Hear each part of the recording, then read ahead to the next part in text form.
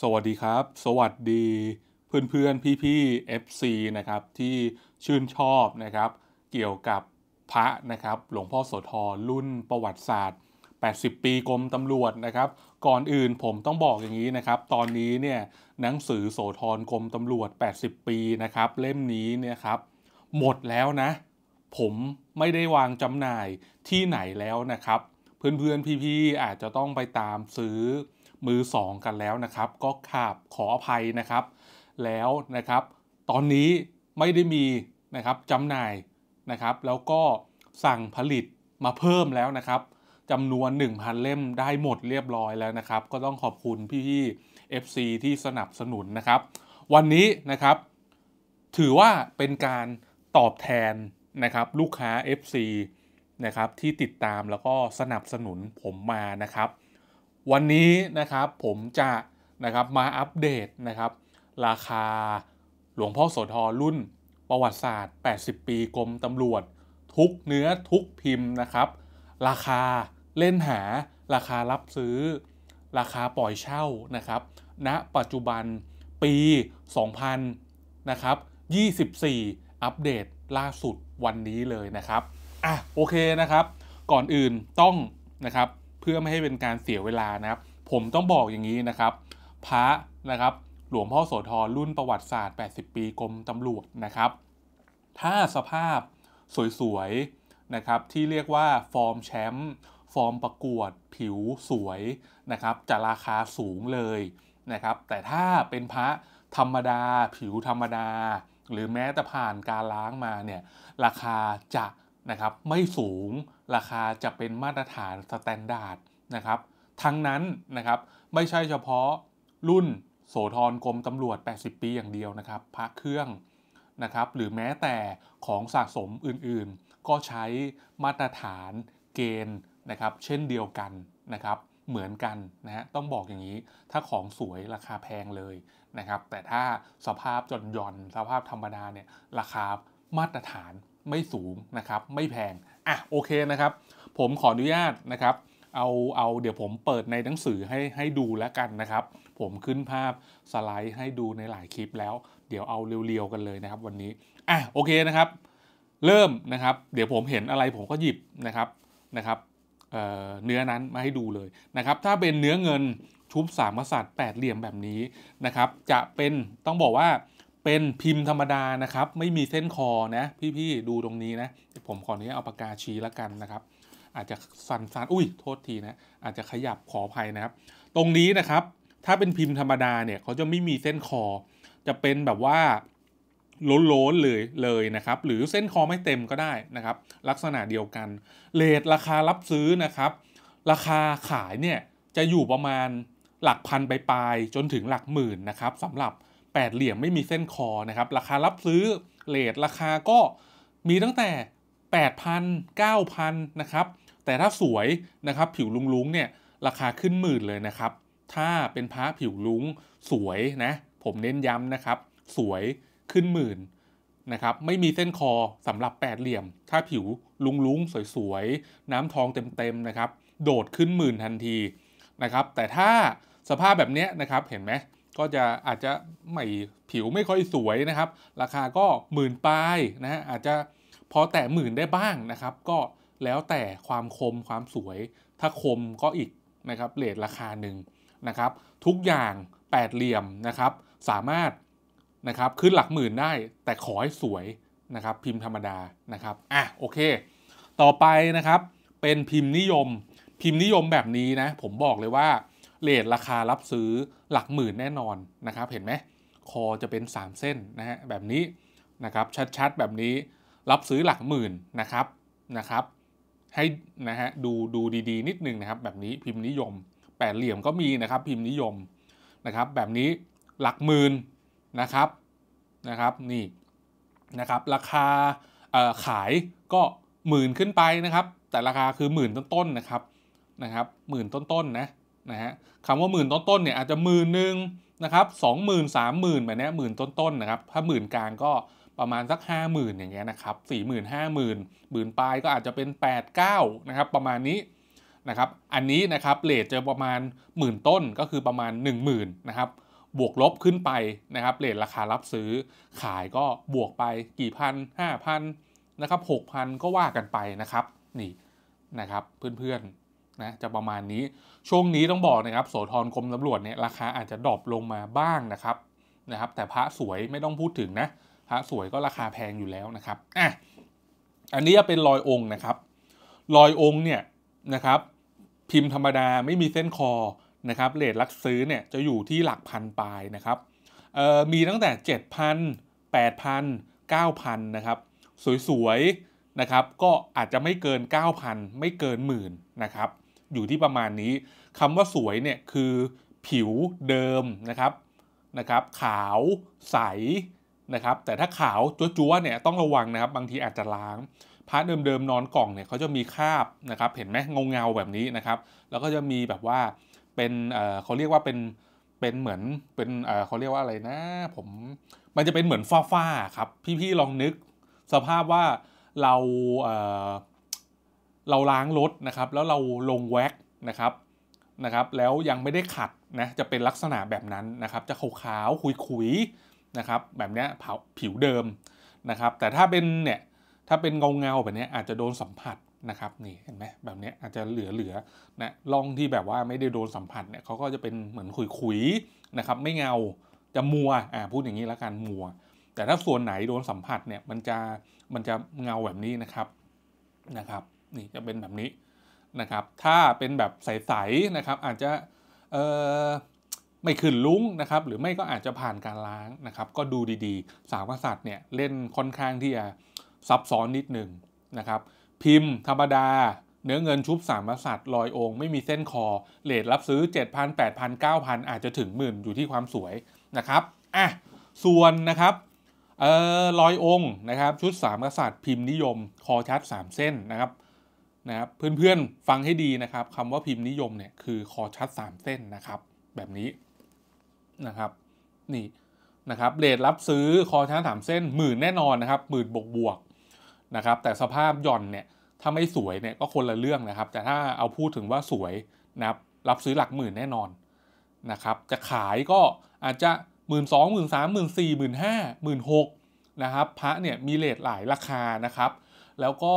คนที่นำไปปล่อยต่อเนี่ยส่วนมากนะครับจะปล่อยกับคนที่เป็นนักสะสมนะครับเขาก็จะซื้อราคาสูงนิดนึงนะครับนี่อะต่อไปนะครับต่อไปก็จะเริ่มมีลุงแล้วอะโอ้ยเห็นนะฮะอะมีลุงนะครับนี่นะครับมีลุงนะครับ แบบนี้นะครับจะเรียกว่าเนื้อเงินนะครับนะครับ เนื้อเงินอะนี่นี่เดี๋ยวผมให้ดูอันนี้ก่อนเดี๋ยวเนื้อเงินอะนะครับ นะครับเนื้อเงินนะครับ เนื้อเงินธรรมดานะครับ พิมพ์แปดเหลี่ยมนะครับ ไม่มีเส้นคอถ้าผิวลุงเนี่ยมีโอกาสขึ้นถึงหลักหมื่นนะครับสำหรับที่ไม่มีเส้นคอนะ ถ้าผิวลุ้งๆสวยๆเนี่ยนะครับ ผมรับซื้อหลักหมื่นนะครับ ราคาตลาดก็อยู่ที่หลักหมื่นนะครับ แต่เป็นถ้าเป็นผิวธรรมดาเนี่ยเลทก็จะอยู่ประมาณ 6,000 7,000นะครับ อยู่ที่ความสวยนะครับ ความคมชัด ถ้าความสวยความคมชัดได้ ราคาก็อาจจะถึง 8,000 นะครับ9,000 ก็ได้นะครับ แต่ถ้าลุ้งเนี่ยขึ้นหมื่นแน่นอนนะครับอะต่อไปนะครับแปดเหลี่ยมนะครับมีเส้นคอนะครับ ถ้าแบบนี้นะครับราคาหลักหมื่นแน่นอนนะครับ หลักหมื่นแน่นอน พี่ๆไม่ต้องกลัวนะ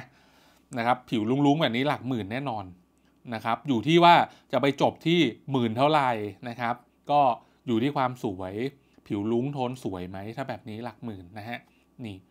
นะครับนี่ผมให้ดูนะครับอะต่อไปนะครับต่อไปก็จะเป็นเนื้อเงินนะครับนะฮะขออนุญาตนะครับ ด้านบนผมจะทำไงดีอะตรงนี้แล้วกันนะครับอะนะครับเห็นเท้าผมก็ขออภัยนะครับอ่าเนื้อเงินนะครับ เนื้อเงินนะเริ่มที่เนื้อเงินขัดเงา ถ้าเป็นขัดเงาเนี่ยนะครับพิมพ์ธรรมดาเลทราคาตอนนี้ลงมาหนักมากนะครับ ราคาเนี่ย รับซื้ออยู่ที่ห้าพันนะครับบวกลบเลยนะ ผมต้องบอกว่าบวกลบเลยนะ ถ้าเป็นสภาพแบบนี้นะครับนะครับ แต่ถ้าผิวลุ้งเนี่ย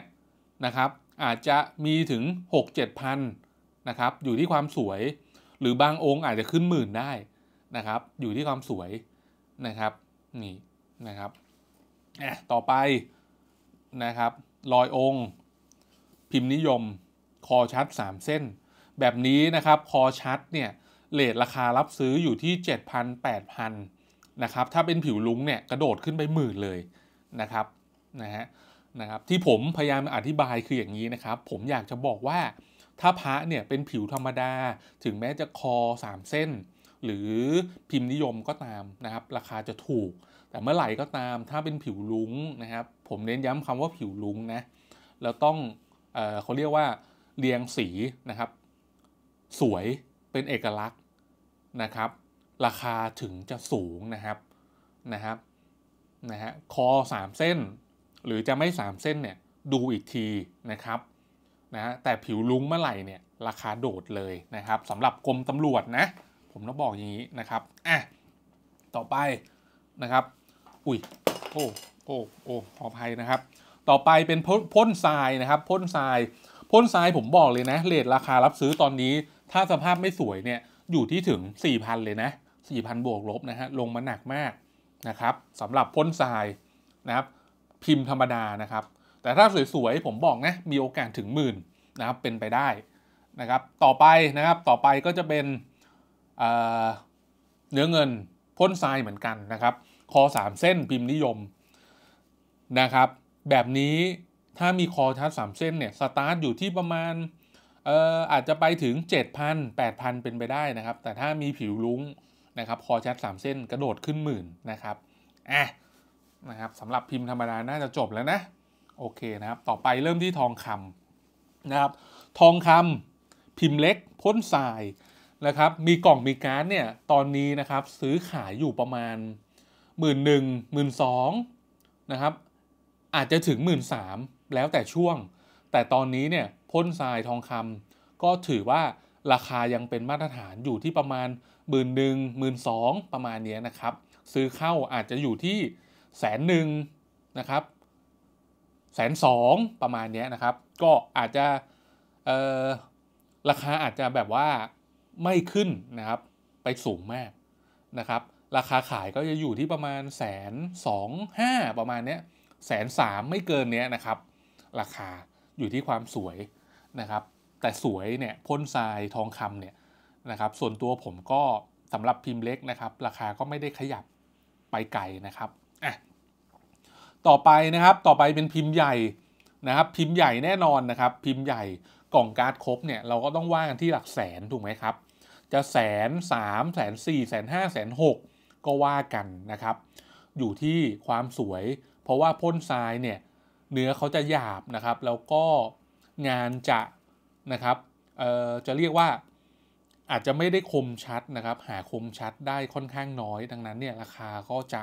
ไม่ค่อยสูงนะครับ เพื่อนๆพี่ๆไม่ต้องตกใจนะครับพ่นทรายเนี่ยราคาเขาจะไม่ค่อยสูงอยู่แล้วนะครับ แต่ผมอยากจะบอกนะครับ แต่ก่อนพ่นทรายเนี่ยนะครับราคารับซื้อเนี่ยไม่เกินแสนนะอาจจะแสนหนึ่งก็ได้นะครับ แต่ก่อนนะ เดี๋ยวนี้นี่ขึ้นมาเยอะนะครับ ขึ้นมาเยอะนะ ผมขายไปแต่ก่อนเนี่ย สวยๆ แชมป์ๆเลย ยังขายแบบลำบากเลยนะแสนสี่แสนห้านะครับ ตอนนี้ก็ขึ้นมากล่องการ์ดครบก็น่าจะมีสักแสนห้านะครับนะครับนะฮะนี่นะครับ อันนี้ต้องบอกว่านะครับผมต้องบอกนะราคาเป็นราคาที่สายตรงเขาเล่นกันนะ ราคาที่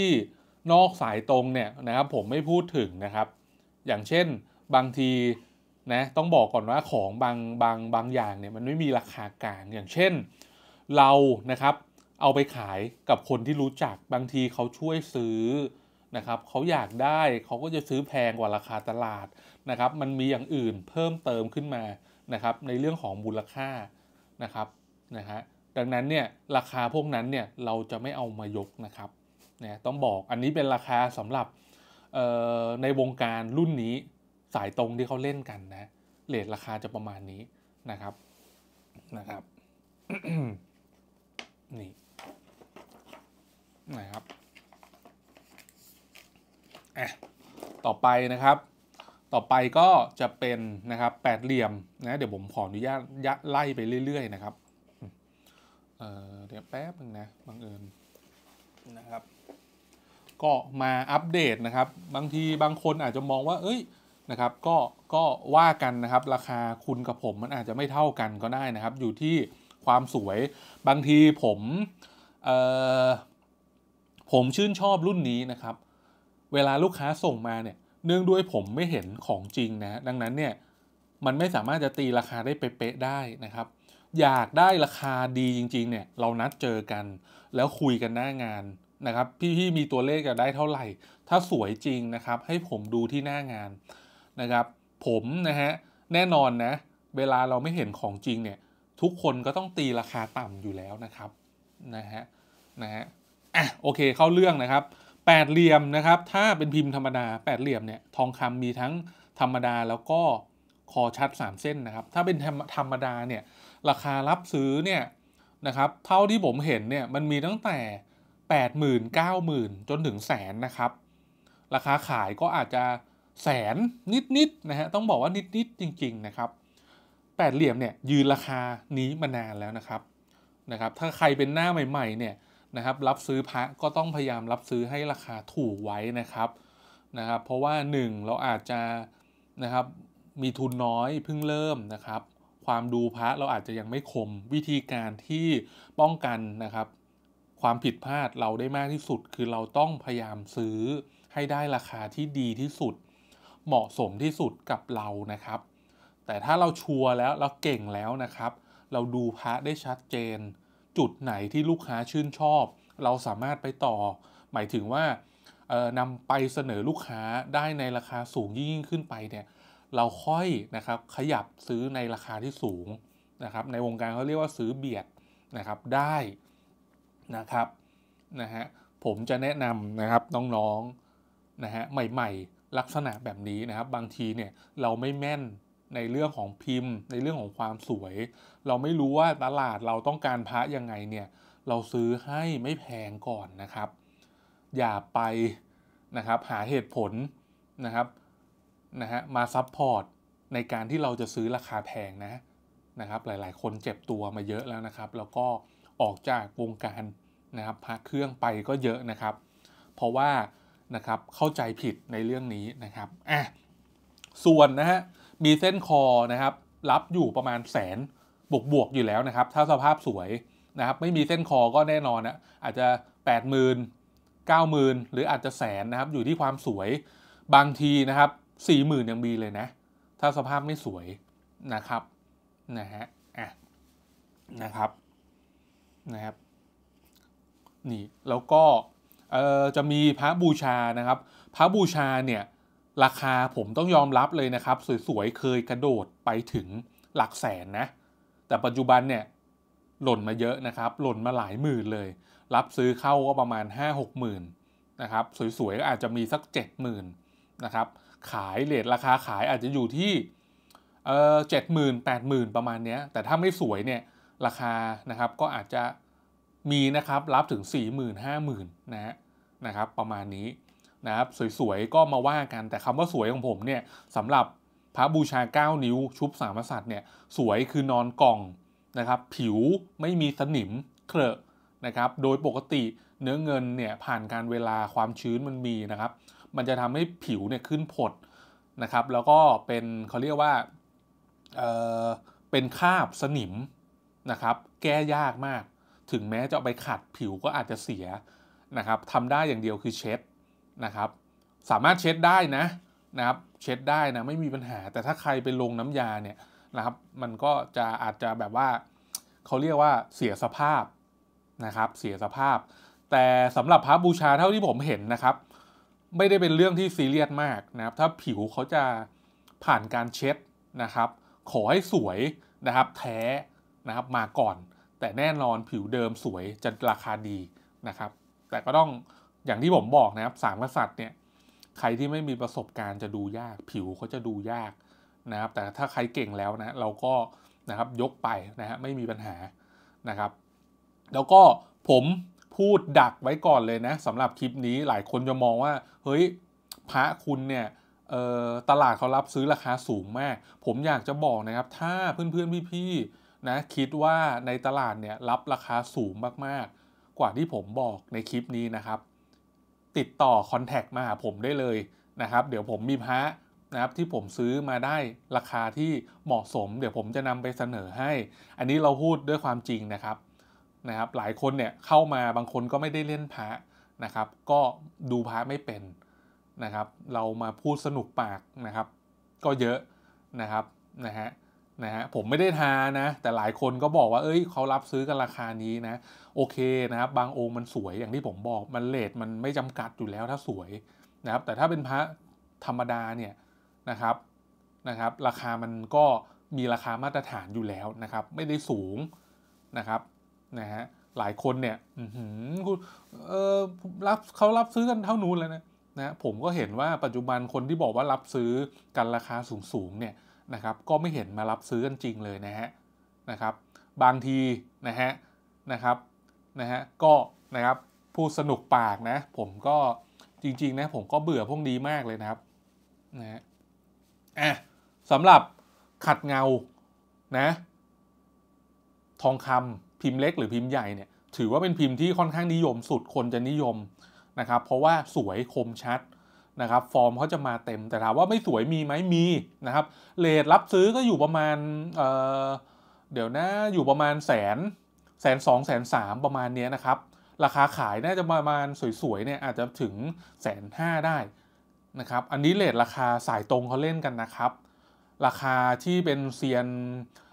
ปั่นกันหรือเอาไปขายต่อกันได้แพงๆอันนั้นผมไม่พูดถึงนะเราก็ไม่ได้ว่าเขาด้วยนะเป็นปกติอยู่แล้วนะครับ วงการพระเราก็อยากขายได้แพงๆนะครับอะนะครับอะนะครับ ต่อไปขัดเงาแน่นอนนะขัดเงากล่องการ์ดครบนะนะครับ ราคาแสนต้นๆนนะครับ ราคาดีที่สุดนะนะครับนะครับราคาดีที่สุด ใครมีนะครับผมต้องการนะครับนำมาขายผมได้เลยนะครับ แล้วเดี๋ยวคุณจะรู้ว่าราคารับซื้อจริงๆเนี่ยเท่าไหร่นะครับ ช่วงแต่ก่อนเนี่ย ราคากระโดดขึ้นไปเยอะนะครับนะนะช่วงนี้เนี่ยราคาอาจจะมีดรอปดบ้างนะครับนะฮะนี่นะครับ อันนี้เป็นทีเด็ดเลยนะฮะนิยมสุดแล้วก็ต้องการมากที่สุดนะครับ เรียกได้ว่านิยมสุดในโสธรกรมตำรวจและถือว่าท็อปที่สุดแล้วนะครับ ขัดเงานะครับ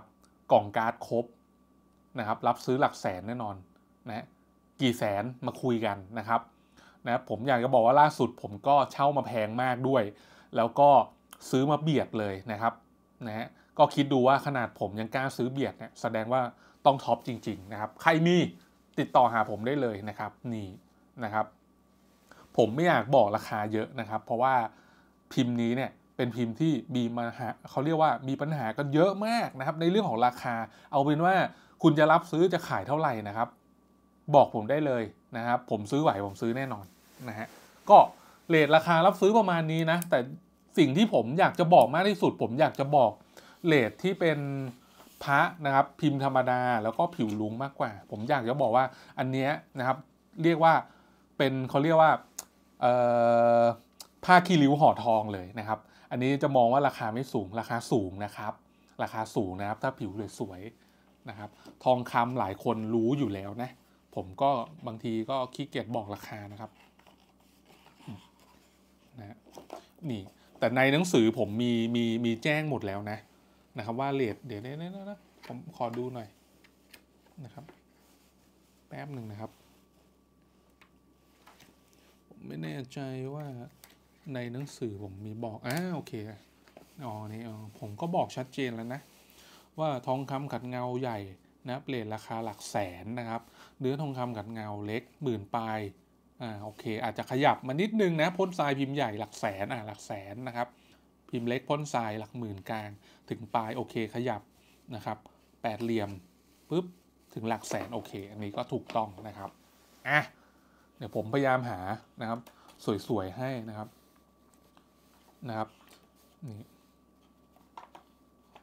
นะฮะ ลูกค้านะครับมีทักเข้ามาหาผมเยอะนะนะว่าคุณแม็กรับซื้อเท่าไหร่นะครับเรทราคารับซื้อเท่าไหร่นะนี่นะครับนี่นะทองคำนะครับนี่นี่นะครับทองคำ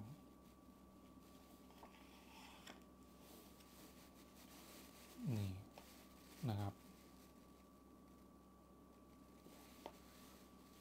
นี่เห็นไหมครับผิวลุ้งๆแบบนี้ราคาแพงนะครับ หลักหมื่น แต่ถ้าเป็นธรรมดาแบบนี้ ราคาจะไม่แพงนะครับ ผมก็รับซื้อไม่เกิน 5,000เนี่ยแบบเนี้ยนะครับ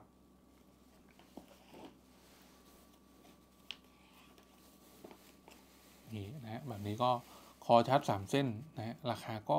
ดีกว่าปกติแน่นอนนะครับ ผิวอาจจะไม่ได้ลุ้งมากนะครับ แต่ก็ถือว่าอยู่ในฟอร์มที่เกินมาตรฐานนะครับนี่แบบนี้ นะผมผมพยอุ้ยนะครับพยายามนะครับให้เพื่อนๆพี่ๆนะครับ ได้เห็นนะว่าพระสวยๆเนี่ยนะครับเป็นแบบไหนนะหลายคนเนี่ยครับอาจจะ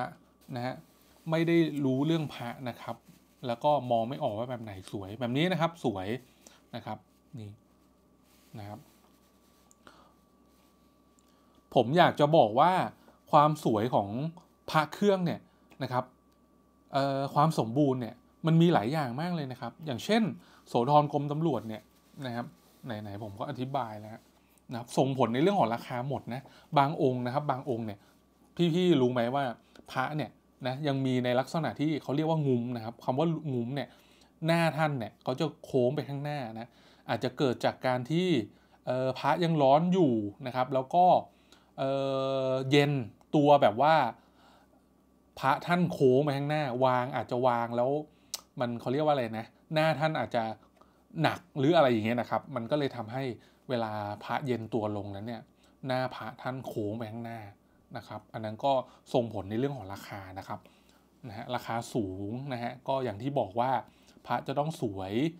นะครับ คอชัด 3 เส้น ฟอร์มประกวด ผิวลุ้งนะฮะแบบเนี้ยนะครับพระศกคมๆแบบนี้ยราคาสูง ผมรับซื้อหลักหมื่นทั้งหมดนะ ถ้ามีเงื่อนไขอย่างที่ผมบอก นะครับแต่ถ้าแบบนี้นะก็น่าจะไม่เกินก้าห้าพันนะพูดผิดนะครับราคาขายนะปัจจุบันเนี่ยก็ห้าพันห้านะพี่พี่นะครับถ้าสภาพธรรมดาเนี่ย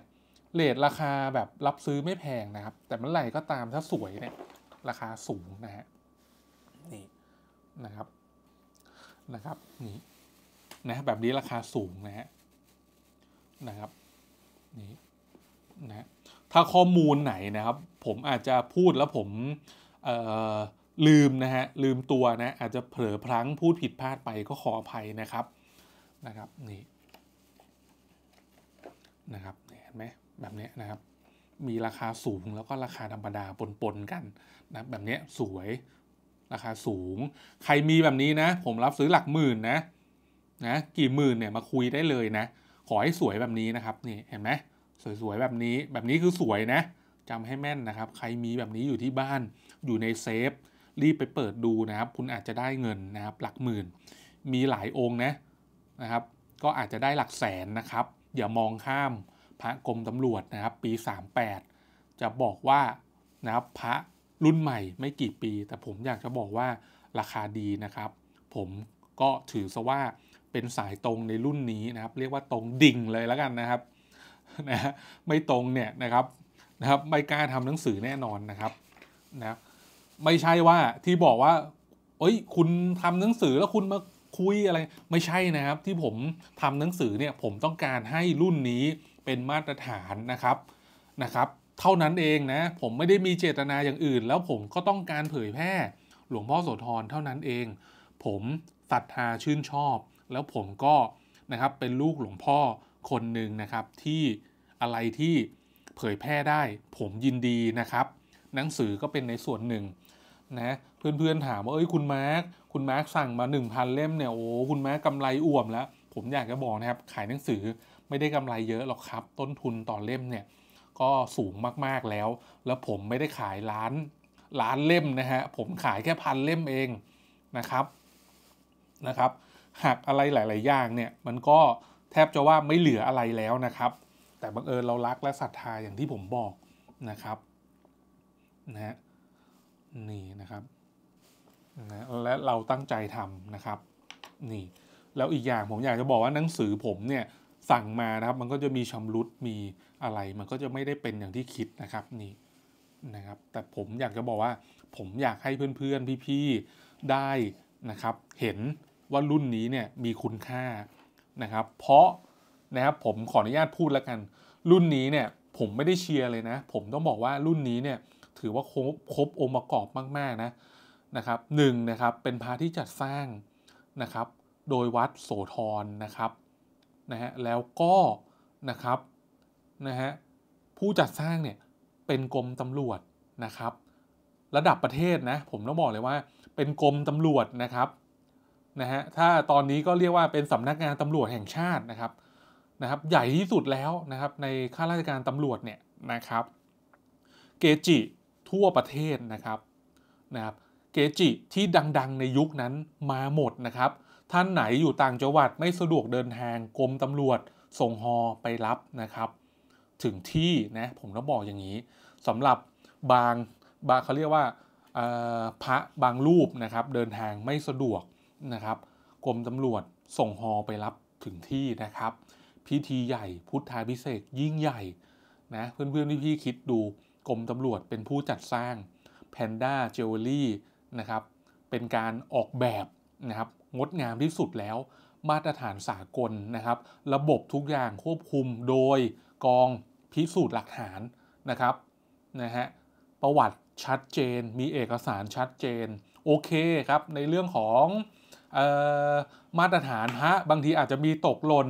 สลับบ้างนะทองคำแปดเหลี่ยมมีการสลับการ์ดบ้างนะอันนั้นก็เป็นเรื่องของการดำเนินงานนะครับ อาจจะมีความผิดพลาดบ้าง เพราะว่านะครับยุคนั้นก็ต้องใช้คนเนาะนะครับในการแจกจ่ายนะครับ แล้วก็อาจจะมีต่อคาดเคลื่อนบ้างนะครับ ก็เป็นเสน่ห์เล็กๆ น้อยๆนะครับ ให้เรานะครับเเวลาจะเช่าหาก็ดูดีๆนะครับ แล้วก็ ไม่นิยมจริงนะฮะนะครับสนามพระรุ่นนี้ไม่มีปลอมเกลื่อนแน่นอนนะครับนะครับปลอมเกรด A เกรด B เกรด A บวกบวกนะครับก็มีให้เห็นเยอะก็ต้องระมัดระวังนะครับ ผมบอกไว้เลย แต่ถ้าเพื่อนๆพี่ๆมีโสธรกรมตำรวจ 80 ปี แบบนี้แบบในคลิปที่ผมให้ดูนะครับ เดี๋ยวผมเปิดนะครับชึบชึบนะขออภัยนะครับ เอาแบบสดๆเลยนะนะครับ อุ้ยนะครับ นี่นะลูกทุ่งเลยนะ อุ้ยนะครับ เราเอาแบบลูกทุ่งเลย ผมแบบนี้แหละ ผมทำคลิปนั่งหน้ารอๆมาเยอะแล้วนะครับ เอาแบบนี่เลยนะครับ นี่นะครับนี่นะครับ กล่องแบบนี้นะครับ โสธรทองคำจะเป็นกำมะหยี่แล้วก็มีโลหะแบบนี้นะครับ ชุบทองนะครับ ตาโล่นะครับติดที่ด้านบน อันนี้เป็นกล่องทองคำแต่ถ้าเป็นธรรมดาก็จะเป็นอย่างนี้ กล่องด้านในเป็นกำมะหยี่เหมือนกันนะครับพลาสติกกำมะหยี่เหมือนกัน แต่ด้านนอกเนี่ยจะเป็นสกรีนแบบนี้นะครับตาโล่ใครมีแบบนี้นะครับ ทักหาผมได้เลยนะครับ ยินดีรับซื้อราคารับซื้อมีตั้งแต่หลักพันจนถึงหลาย ๆ แสนนะครับนี่นะครับ กรรมการนะใครมีครบเซตนะครับ สามารถนะฮะนำมานะครับจำหน่ายที่ผมได้เลยนะ ผมยินดีรับซื้อพระนะครับมีเป็นแสนแสนองค์นะครับนี่นะฮะนะครับ เนื้อทองคำนะครับจัดสร้างนะครับจำนวน 10,000 องค์นะฮะแต่ละพิมพ์ทุกองค์จะตอกด้วยตัว P นี่เห็นไหมนะครับหนังสือผมบอกชัดเจนนำหน้าด้วยตัว P นะครับ ถ้าไม่มีตัว P เนี่ย อาจจะไม่ได้มาตรฐาน แต่ถามว่าวงการเล่นหาไหมก็เล่นหาปกติ ขอให้เป็นทองแท้พระแท้นะครับ แล้วก็จัดสร้างในวาระนั้นนะครับนะครับ เล่นหาหมด ราคาอาจจะมีดรอปๆบ้างนะอาจจะไม่ครบนะครับ ก็ว่ากันไปนะครับ ขอให้เป็นพระแท้นะครับ ผมมีข้อมูลอย่างหนึ่งนะมีมีมีคนบอกว่านะครับ ถ้าตอกตัว P เนี่ยจะแบบว่า เออไม่ได้เป็นมาตรฐานจริงๆก็ต้องไม่ตอกอะไรเงี้ยนะครับตอกตัว P เนี่ยเพราะว่าให้ที่วัดอะไรเงี้ยผมบอกเลยนะว่า ทองคำจะต้องตอกตัว P ทุกองค์นะครับ แล้วก็ถ้าเป็นกรรมการจะตอกพอพานนะครับ จัดสร้างเนี่ยนะครับไม่เยอะนะสำหรับกรรมการนะครับ P นะครับทองคำมาตรฐาน พอพาน กรรมการพิเศษนะครับ แล้วก็มีชุดนะครับรวมทองคำอีก อันนี้จะเป็นกรรมการใหญ่ นะครับแบบนั้นราคาก็จะสูงนะครับนะครับใครมีทักหาผมได้เลย ทุกองค์ มีใบการันตี แนบมาพร้อมทุกองค์นะผมต้องบอกอย่างนี้นะครับไม่มีองค์ไหนที่ไม่มีนะ นอกจากเขาไม่ให้มานะครับการ์ดนะครับมีมูลค่านะฮะหายนะครับ ไม่มีนะเงินหายหลักหมื่นนะครับ มีแน่นอนราคา full option เต็ม stream นะครับ ยินดีรับซื้อ โอเคนะครับ คลิปนี้มีคำพูดผิดพลาดประการใดพาดพิงพี่ๆท่านใดขออภัยนะครับ ไม่ได้มีเจตนาลบหลู่กล่าวอ้างถึงนะครับเพียงแค่ว่าประกอบในการนะครับนะครับ ในการเขาเรียกว่าในการบรรยายนะโสธรกรมตำรวจเท่านั้นนะครับคำพูดผิดพลาดประการใดกราบขออภัยพี่ๆอย่าถืออย่าโกรธอย่าว่านะครับ ราคานะครับอาจจะต่ำบ้างแพงบ้างนะครับ เป็นราคารับซื้อมาตรฐาน ของสายตรงวงการที่ผมรวบรวมมาให้นะครับในปี 2024 นะครับ ราคาอาจจะดรอปดอปมาบ้าง แต่อย่าใช้คำว่าดรอปนะครับโสธรกรมตำรวจ ราคาขึ้นมาเยอะมากแล้วนะครับนะครับ นี่นะฮะโอเคนะครับ ยังไงก็ฝากพี่ๆไว้ด้วยนะครับ ใครมีโสธรกรมตำรวจ 80 ปี ทักหาผมได้เลยนะครับ ไปล้วครับ